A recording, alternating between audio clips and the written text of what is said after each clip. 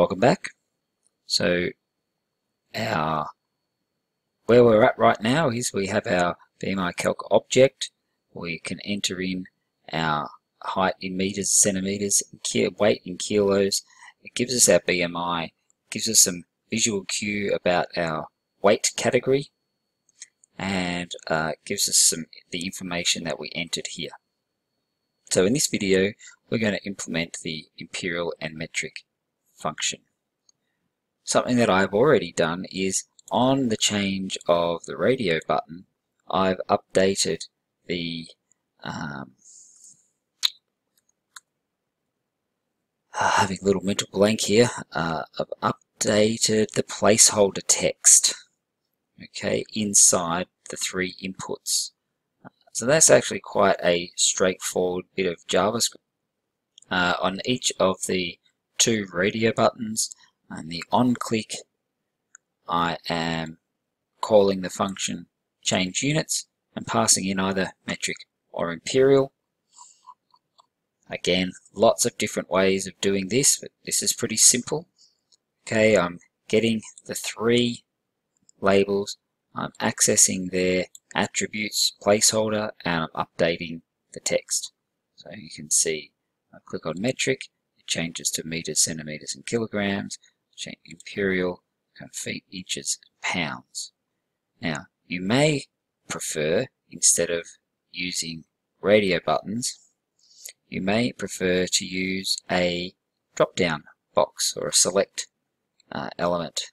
So we can do that. So let's let's uh, for now just comment out this and create our select. There and um, in the on change function oh, well let's let's start by just creating it shall we? Uh, we're going to give it a name. It's going to be units same as this. And uh, we'll have some options this is metric this is going to say metric. And this is going to say imperial. And this is going to say imperial. So the value is what's going to be sent with the form and what's inside here is what shows to the user. So let's have a look at what our new form would look like. There it is. Okay, that's fine. Uh, notice that nothing's happening here. We want to just connect these together. Uh, so what we're going to do is in the onChange function, uh, we're going to call uh, this other function that I've written called select change units. I'll explain why it's different in a minute.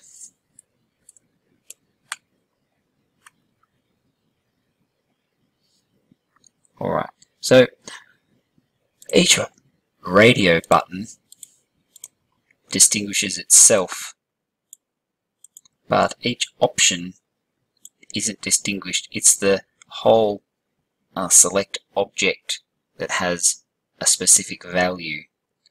Uh, so uh, what we can do then is we can actually get the units and find out which value is selected and then we can call this original function here. So uh, now uh, we should be able to change. Okay, let's have a look at JavaScript errors. Uh, what have we got? Uh, metric cannot read property value of null. Hmm, that's interesting.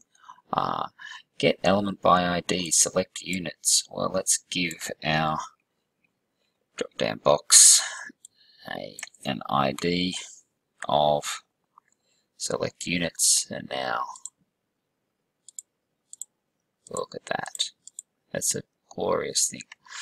So it really doesn't matter um, if you want to do it with the drop down box or with radio buttons uh, I'm going to go back to radio buttons just because I am. That's where I started. Okay and I'll just check that it didn't break anything. That's fine Alright, now we're already we're passing in the units value. Um, so I, th I, think I demonstrated the feet and inches part to you before. Um, Alright, now this is going to be crazy, but now the units is set to imperial. So what we're actually going to do up here is inside our calculate function, we're passing it the height 1 and height 2. They're still useful because this is, instead of being meters and centimeters, it's feet and inches. We've got our weight in kilograms or pounds. But we're also going to pass into it the units. And in our calculation class, in our function, we're going to pass in the units. We're going to set units to units.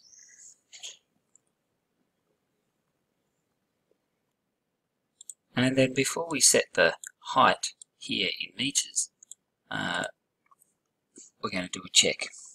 So we're going to check if units is equal to, so we can do a string comparison of course, str comp of units with imperial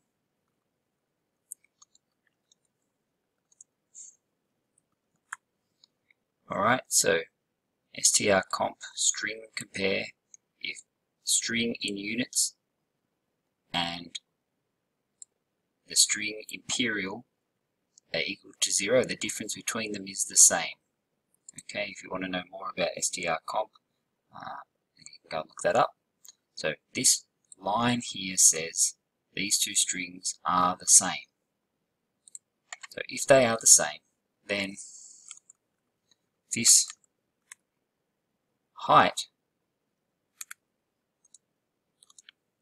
we need to convert height major, it's currently in feet, and this is currently in inches. Now we've been given here the conversion formula for height in feet and inches into meters. So I'm just going to take this and I'm going to pop it here. Alright, so height in feet is our height major. So that's that.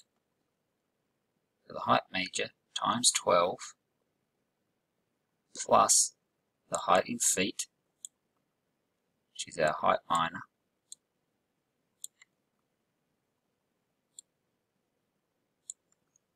all of that needs to be wrapped in a bracket and we times by this factor.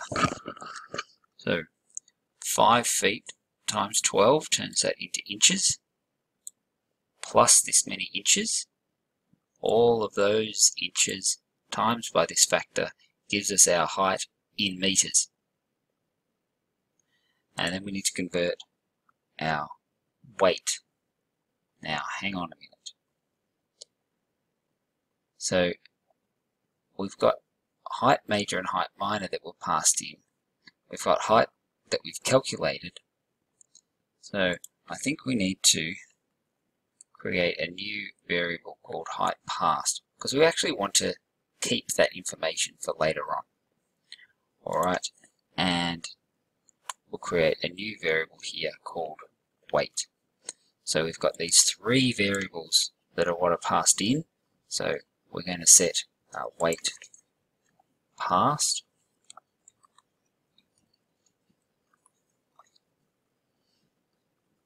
Alright, now we've got units. Well, we're only not doing anything with units. Oh, we do need to uh, create a variable here, don't we? Protected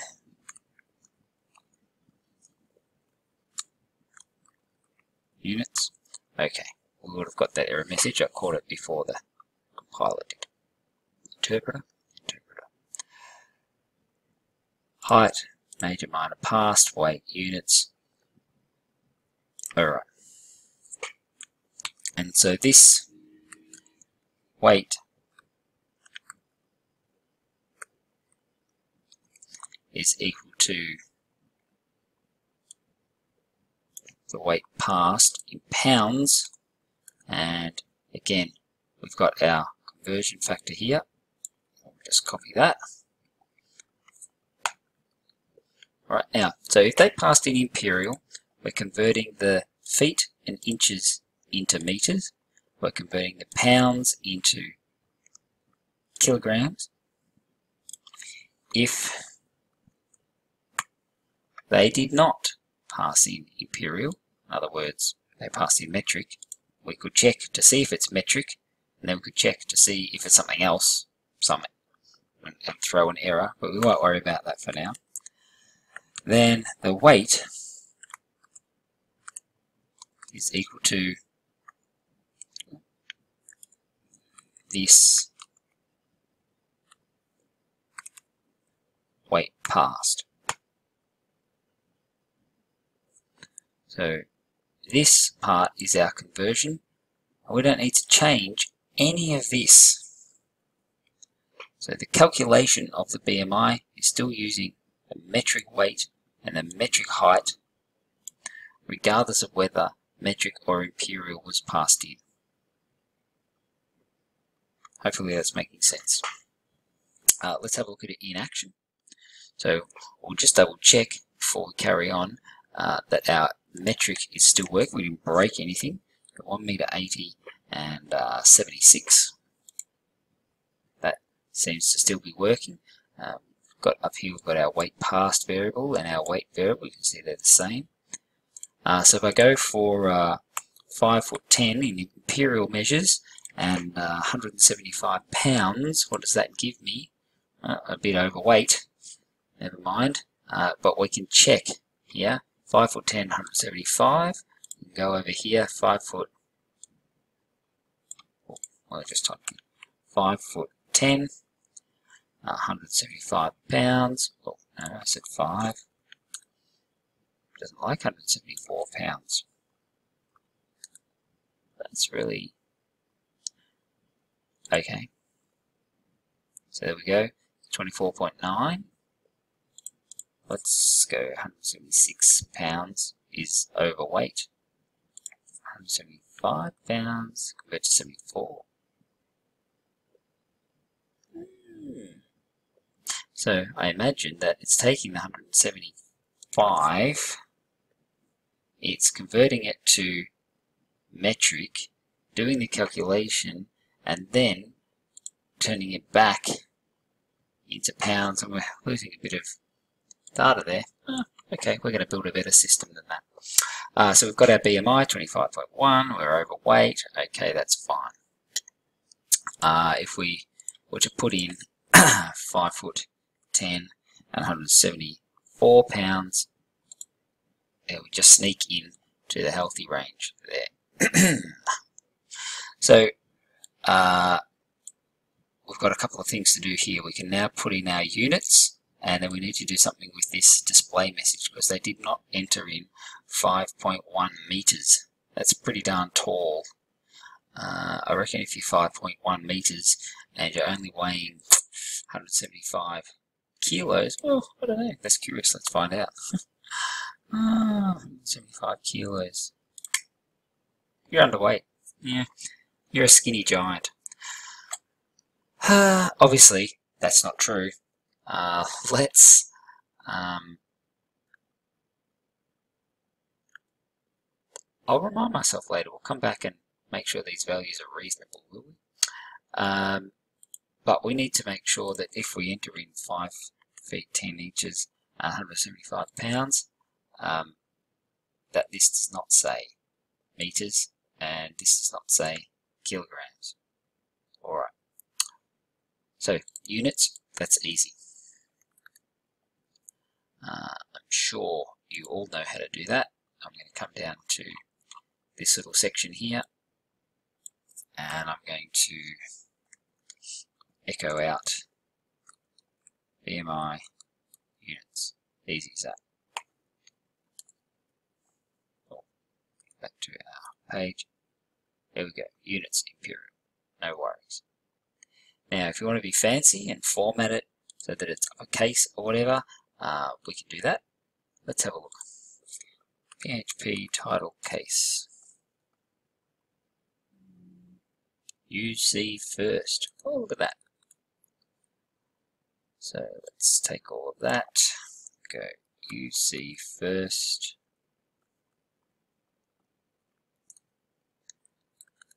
And look at that now, it says Imperial. Great, isn't that exciting? But notice that our underlying data still says lowercase, and that's important because in our code uh, we're actually checking for that exactly. Now, it's true, uh, we could use the str n case comp, which compares without using case, but we're not. Uh, so, that's that part done. Uh, now I need to do something with this. Now, again, there's a trade-off here between how much logic we want to build into our display uh, and how much we want to keep out of the display. So, um, again, there are so many different ways that we can do this. One simple way is to create some functions within the class about how you might display elements from the class. So for example, uh, I could create a uh, a public function called uh, display height. Oops, display height. And what we might do is we might go uh, if this units oh I'll just copy this, uh, where is it gone? If the units is imperial,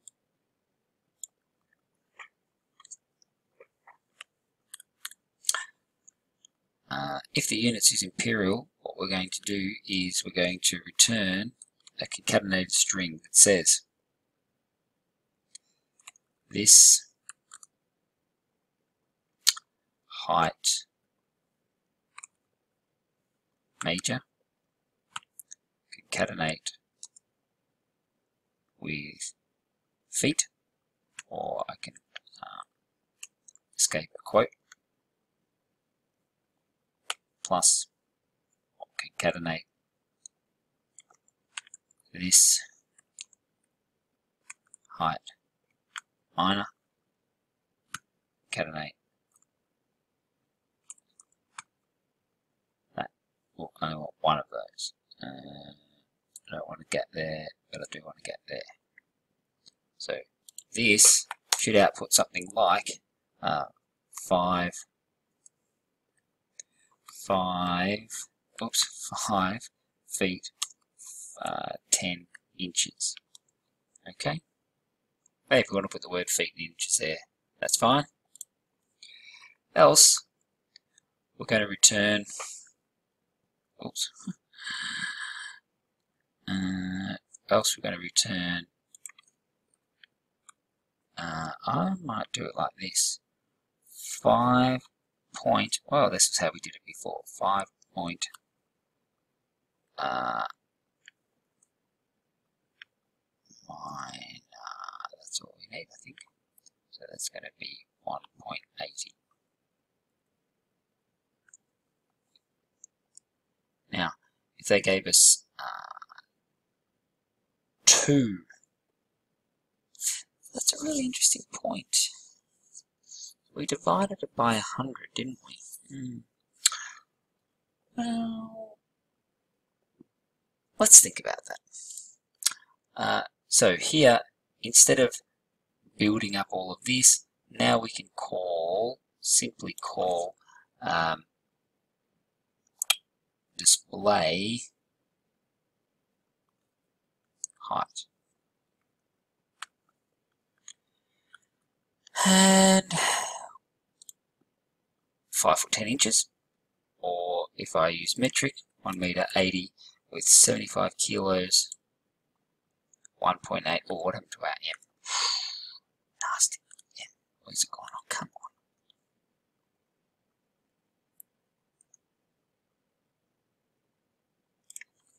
I've got to concatenate an M on the end. Uh, oh. Going well. Okay, here we go. There's our M. Okay, we've got there. So we can now change between metric and imperial. We have got our uh, style working. Uh, we're giving the date and we're feeding back what they have already told us. So in uh, that then takes us to uh, the end of 1.1. So the next thing to do is to look at some file uh, saving, which is really going to mess with your brains. Okay.